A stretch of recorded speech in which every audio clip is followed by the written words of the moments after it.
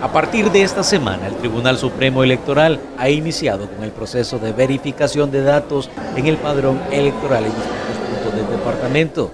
Un punto se encuentra ubicado en la municipalidad de Usulután. Ahorita estamos trabajando con el tribunal en la consulta ciudadana. Cuénteme un poco sobre este, este kiosco de consulta que tienen aquí en la alcaldía.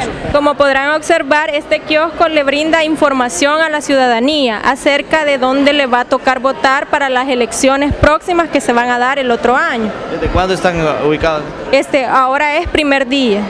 El proceso es fácil. El interesado solo tiene que proporcionar su número de DUI al personal del Tribunal Supremo Electoral quien lo introduce en la computadora e inmediatamente aparece la información en pantalla, la cual es impresa y se entrega al interesado. El proceso es muy fácil y sencillo para la población.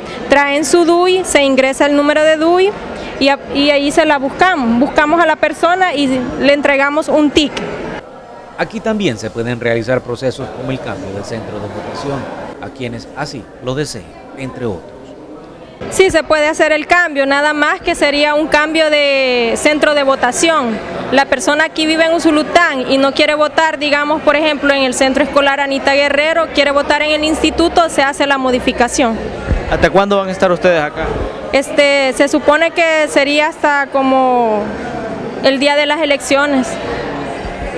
Imprimen un ticket, eh, ese ticket le sirve a la gente para ubicarse también. Sí, ese ticket sirve para ubicar a las personas, sí, donde les va a tocar votar. ¿El horario de atención que tiene? Eh, el horario que tenemos ahorita es de 8 a 5 de la tarde.